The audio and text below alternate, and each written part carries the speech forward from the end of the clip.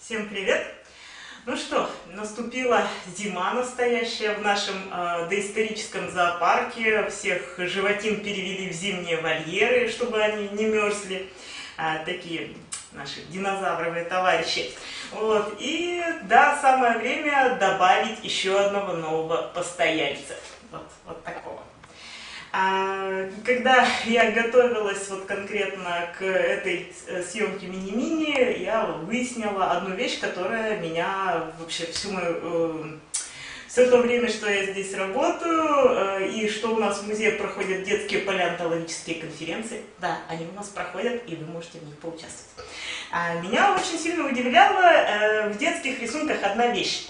Дети очень часто рисуют некоторого динозавра, у которого на спине явно пластины какие-то есть, но при этом очень длинная шея. То есть получается, что это такой диплодок с пластинами. А у меня все время было ощущение, что это ребята рисуют ну, какое-то вымышленное животное, которого действительно никогда не было, просто потому что им хочется собрать все самое крутое и длинную шею от э, зауропод, и непременно такое красивое туловище с пластинками, как у стегозаврин. Но оказывается, что да, действительно был такой представитель славного семейства э, стегозавров, э, как Мирагая, э, которая жила в Европе западной, в, ближе к середине юрского периода. И действительно у этой Мирагаи была длинная шея, как у зауропод, и замечательные красивущие пластинки на теле, как, собственно, у стегозавров, и сама она, собственно, а, относилась к стегозавринам. Вот, так что, да, это на самом деле, э, несмотря на то, что нарисовано от души и фантазии, тем не менее, настоящее такое животное тоже существовало. Что еще раз подтверждает, насколько реальность многообразна и удивительна, а, и как то, что казалось бы всего лишь фантазия, может на самом деле быть в реальности. Вот. Ну а еще я хочу э, для тех, кто следит за нашими выпусками, подсказать одну идею. Вы не обязаны собирать совершенно настоящих вот прям динозавров, как книжка с картинками. Вы можете выбрать, э, выбрать и выдумать своего динозавра. То есть вот выбрать части, которые вам больше всего нравятся, э, и соединить их так, как нравится вам. И тогда получается свой новый уникальный вид – а, который вы тоже можете описать, используя греческие, латинские э, слова в качестве названий, и получить какого-нибудь э, трицеродромея, э, трицеродромея какого-нибудь. Ну а сейчас мы соберем нашего красавца стегозавра, а, стегозавр унгулятус, который был описан Маршем, а, известным палеонтологом во время так называемых костяных войн. А он у нас уже наклеен на картоночку, мы уже шилом прокололи в местах, отмеченных крестиками и звездочками, дырочки. А, и самое время его вырезать и собрать. Поехали! Это ужасно. Я только сейчас обнаружила, что на выкройке у динозавра две передние, э, только одна передняя и одна задняя нога. Хотя вообще должно быть их четыре. Ну, две передних, две задних. Э, так что, да, это закадровая информация. А на той выкройке, которая будет выложена в группе Музея пермских древностей, количество ног, обещаю, будет нормальным. Но пока остается это как-то исправить, потому что съемки должны продолжаться, шоу must go on. И я показываю, как это можно относительно легко исправить. Мы берем шило, прокалываем им э, точку, в которой э, конечность собирается, очень прочно захватываем пальцами, чтобы оно не ездило, не вращалось. И вырезаем вот так, вот, вот, вот, вот, очень аккуратно еще одну запасную ножку.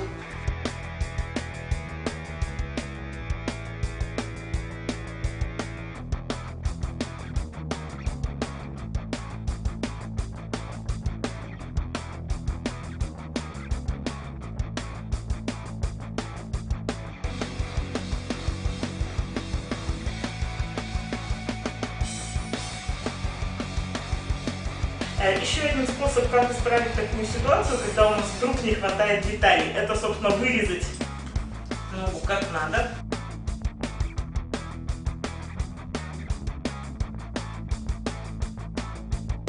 Вырезали. Приложили ее к листу бумаги. И обвели. И получаем выкройку еще одной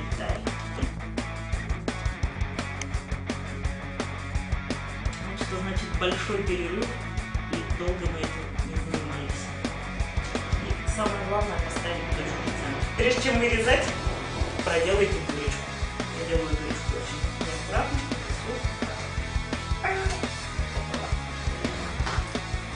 И вырезаем. Здравствуй, сосед с перфоратором! Начиная с весны, с той самой поры, когда мы собрали брахиозавра, он ничего не сверлил, а сейчас он проснулся! Здравствуй, сосед! Как я тебя ненавижу! Голова без мозгов. На самом деле мозги есть, но не больше, чем собачьи. Из-за этого в массовой культуре стегозавр получил прозвище «самый безмозглый динозавр». На мой взгляд, это невероятно обидно, а, потому что а, количество мозгов на самом деле еще не самое определяющее. Главное не то, сколько у нас мозгов, потому что а, если смотреть на количество, то самыми умными должны быть кошелоты. Вот, а люди, ну так себе. Вот. А самое важное, оказывается, во-первых, как мы этими мозгами пользуемся, а во-вторых, соотношение головного мозга и массы тела в целом. Ну, а если у нас мало головного мозга, то, может быть, у нас есть еще дополнительный. И во многих книжках про динозавров пишут, что вот, вот здесь, над хвостом, а, у а, стегозавров был прям второй мозг. Вот, что значит, вот этим э, второй мозг как раз отвечал за координацию движений, и, собственно, только верхнему головному оставалось думать о высоком, возвышенном и прекрасном.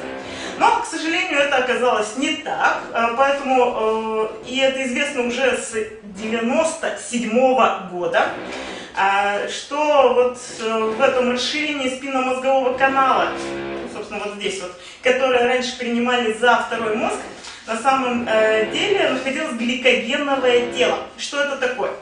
Гликоген – это запасное питательное вещество. У нас, например, у людей гликоген откладывается в печень. Вот. И, собственно, гликоген – это э, дополнительное питательное вещество, которое служит для питания нервной ткани. В общем, э, там у него, по сути, были запасы еды для мозгов, но не сами мозги. А что еще привлекает, конечно же, в стегозаврах, это их хвост. Хвост этот будет очень сейчас сложно вырезать, потому что на нем очень много оп, шипов.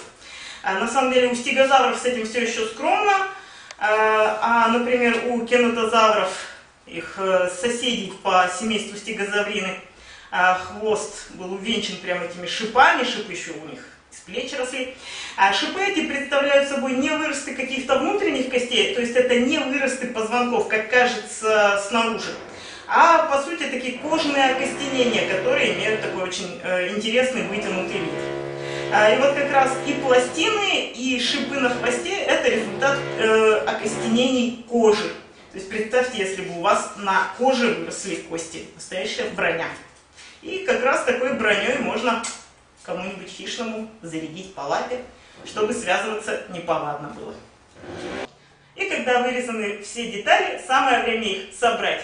Вот у нас есть голова, шея. А шея у, собственно, типового рода, э, рода и вида у стегозавра унгуленсиса коротенькая, но если вы хотите собрать мирогаю, то вам потребуется вырезать еще более длинную шею, которая по длине будет как все туловище. И, собственно, мы их накладываем. А, все, я уже забыла, как это делается. Мы берем проволочку, вставляем в одну дырку. Теперь проволочку складываем пополам. Я уже забыла, как это делается. И аккуратно, держа при этом пальцы, начинаем наматывать улиточку.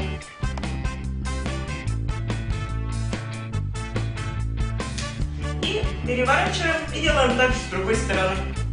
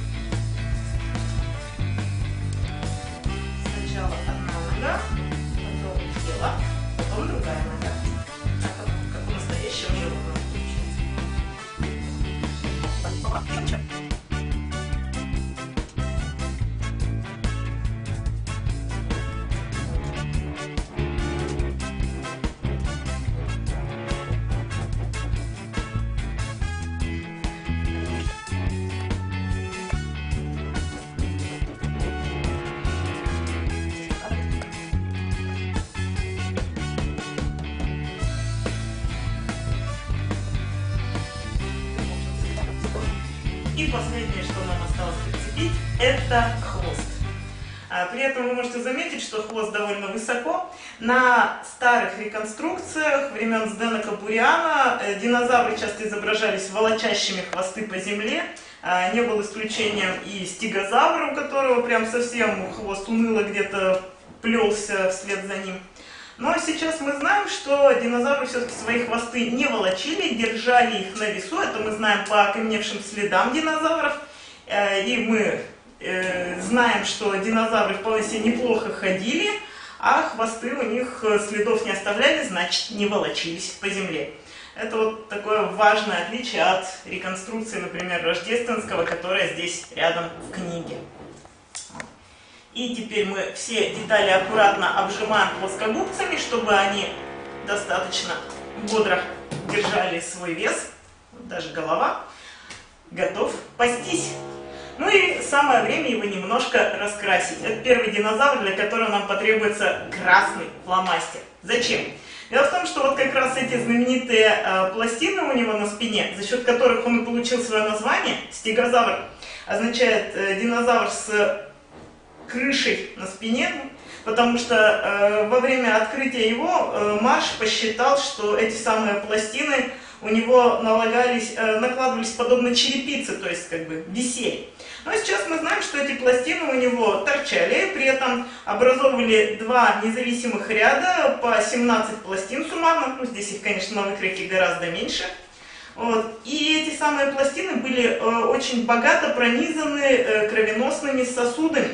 Возможно, такие кровеносные сосуды э, помогали ему э, вовремя подогреться, чтобы быть более травоядным, а, соответственно, чтобы переваривать траву, надо иметь достаточно высокую температуру тела. А, примерно такая же конструкция была у диметродона, у эдофазавры, но диметродоны и эдофазавры это не динозавры, это пермские звероящеры, о которых, я надеюсь, мы еще поговорим. А этот самый настоящий динозавр, который тоже вот встал на путь теплокровности. Правда, не очень далеко по нему ушел, и где-то в середине мела весь кончился. Вот. Но, тем не менее, стегозавры были замечательными, разнообразными животными, которые населяли э, Европу, Азию, Северную Америку, были разнообразными и замечательными, удивительными существами. Самое время поселить его в наш зоопарк. Ну а вы оставайтесь на нашем канале, ставьте лайки, не забывайте, подписывайтесь. А, ну и заходите в музей пермских древностей, он более-менее открыт. Так что до встречи, пока! Кто полюбит стегосавра с мармеладными глазами? Если завтра будет завтра, значит я Осталось